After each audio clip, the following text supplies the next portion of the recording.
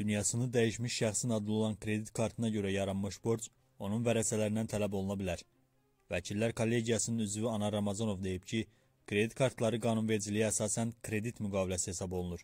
Vəkil bildirib ki, bəzi hallarda ödənişdən yayınmaq üçün vəfat etmiş kredit alanın ailə üzvləri onun əmlakını rəsmi şəkildə qəbul etmirlər.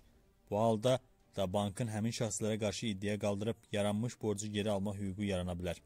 Hüquqşünas deyib ki, vəfat etmiş şəxsin kredit kartında yaranmış borcun ödənməsi bankla bağlanmış müqavilə əsasında və ya mülki məcəllə ilə tənzimlənir.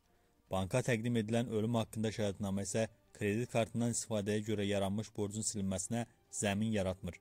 Bu halda yalnız ölmüş şəxsin kredit kartı bloklana və müqavilə ləğv edilə bilər.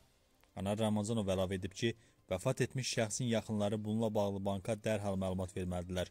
Bu yolla kredit kartına gələn faiz və cərimələrin qarşısının alınması mümkündür.